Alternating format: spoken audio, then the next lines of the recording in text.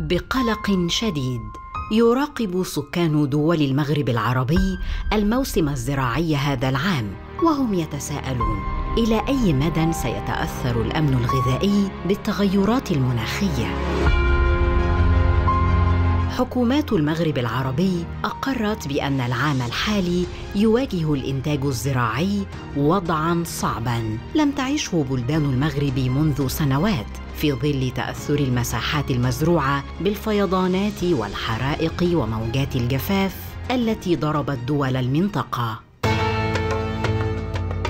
في تونس أكدت رئيسة الحكومة نجلاء بودن أهمية قطاع الفلاحة في ضمان الأمن الغذائي للتونسيين وضرورة إيلاء هذا القطاع الحيوي الأهمية اللازمة. وأشارت إلى حرص الحكومة على إيجاد حلول لأبرز المشاكل التي تتعرض لها منظومات الإنتاج الفلاحي والصيد البحري وتحسين مردودية القطاع وتفعيل دوره في النهوض بالاقتصاد الوطني.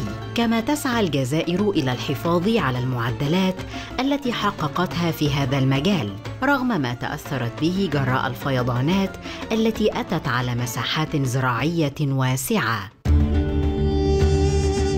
وتعد الجزائر من الدول التي جاءت في مراتب متقدمة من حيث تحقيق الأمن الغذائي وفئة البلدان التي تقل فيها نسبة الأشخاص الذين يعانون سوء التغذية عن 2.5% بالمئة من العدد الإجمالي للسكان. وذلك خلال الفترة الممتدة بين 2018 و2020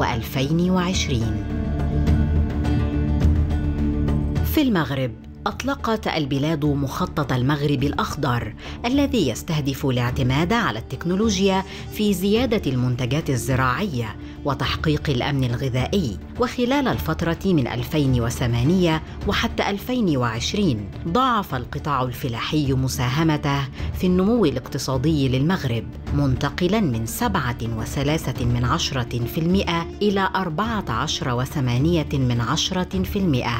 إذا فجميع دول المغرب العربي أمام تحديات صعبة ربما هي الأبرز في تاريخها. لكن في مواجهة هذه الأزمات قد تكون لكل دولة حالة خاصة. في التخفيف من وطأة الأزمات المائية والغذائية.